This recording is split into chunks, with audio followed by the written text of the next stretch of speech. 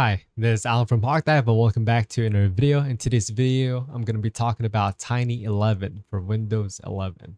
Now, what is Tiny 11? Well, basically, Tiny 11 is a modified ISO or version of Windows 11 that allows Windows 11 to be installed on computers that actually does not meet the minimum requirements, such as secure boot, TPM 2.0, 4 gigabytes of RAM, and a lot more other requirements that Microsoft needs for you to be able to install Windows 11. With Tiny 11, you can just install it straight up without even worrying about Microsoft accounts or whatsoever. So with all that said, I'm gonna show you how you can download it, install it, and I'm gonna hop onto my desktop right now. So, all right, we're currently at my desktop. And as you can see, I already have the ISO file, but how do you get the ISO file? First of all, this is the official website of download for the Tiny 11 ISO, which is on the description down below or on my article, which is at hawkdive.com. So right here, archive.org slash detail slash tiny dash 11 dash ntdev is the exact link if you just want to type it out. And you just want to go and scroll down here. And as you can see, there are download options.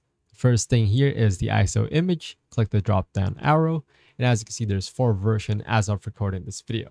We got a 22H2 Beta 1, a 22H2 Beta 2, no system requirements, and this is what you're gonna want, and then the 22H2 Beta 2, 22H2 R1. So just to repeat, what is Tiny 11? Tiny 11 is a Windows 11 Lite version that basically strips down Windows 11 to just the things you would actually need on a normal use case of Windows. So with all that said, click on this one, the no system requirement, and then you're going to get this file right here. You're probably wondering how you can install Windows Tiny 11 on your computer. Well, the first thing that you would need is an application called Rufus.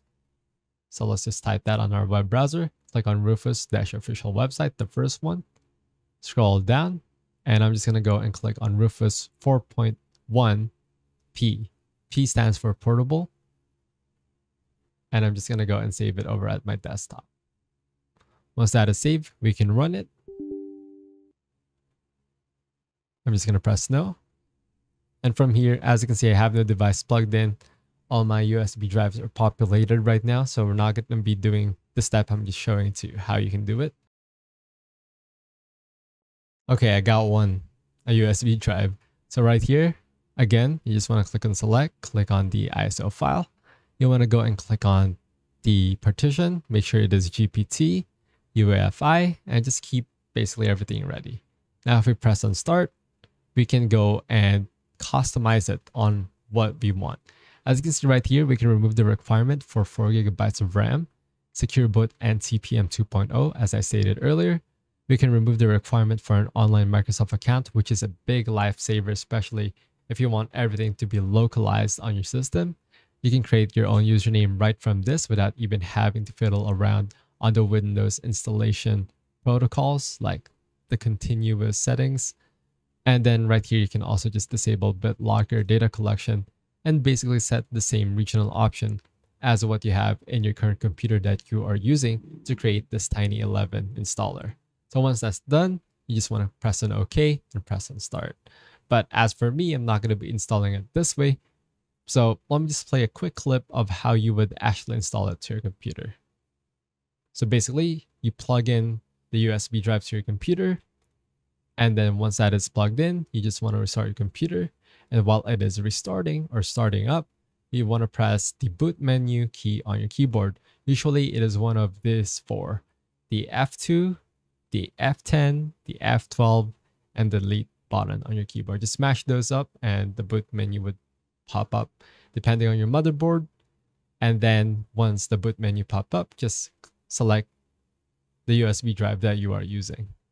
And then from there, you just want to proceed in a normal, more shortcut version of installing your Windows machine.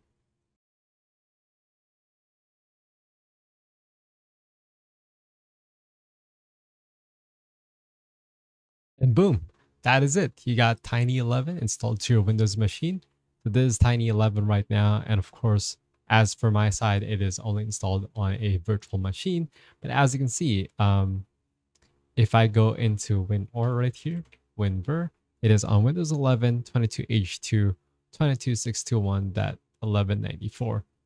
In comparison, the latest version of Windows right now that is, you know, normal from Windows is actually 22621 also, but 1928. So just a marginal difference between the difference on the actual Tiny 11 beta version of the latest 22H2 version of Windows, but pretty much the same. So as you can see, I didn't have to create an account, use a Microsoft online account. Uh, although I did use a lot of memory for this virtual machine, I didn't have to. I can just install it on a two gigabyte machine. And yeah, as you can see, look at the page pool right now. There's barely any consumption in the memory, although it's using 1.5, I know, but you can run it in a two gigabyte RAM machine. As you can see as well, uh, this is my CPU, of course, but look at the utilization and look at the amount of processes. I know there isn't any apps open, but just a simple comparison right now, if I go over into my actual machine, I am using 202 processes with just a few more apps open, such as Steam, Discord, Epic, and the OBS that you are watching this from.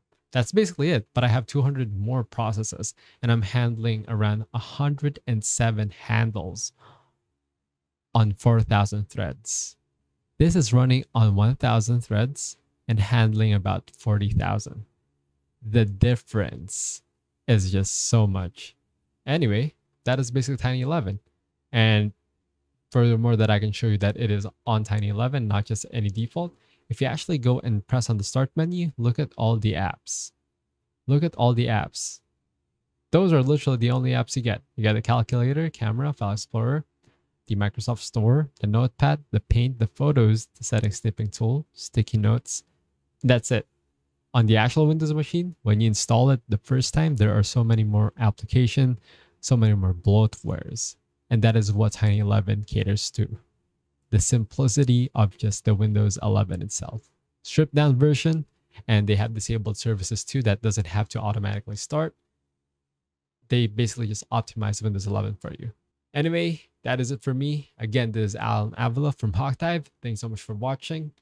I'll see you guys in the next Hawkdive video. And of course, don't forget to hit that like button, subscribe, share this with your friends so they can actually test out this machine because this is also a tutorial of how to install it, of course, as have you have seen earlier. And um, yeah, comment down in the comment section below if you have any questions and have a nice day.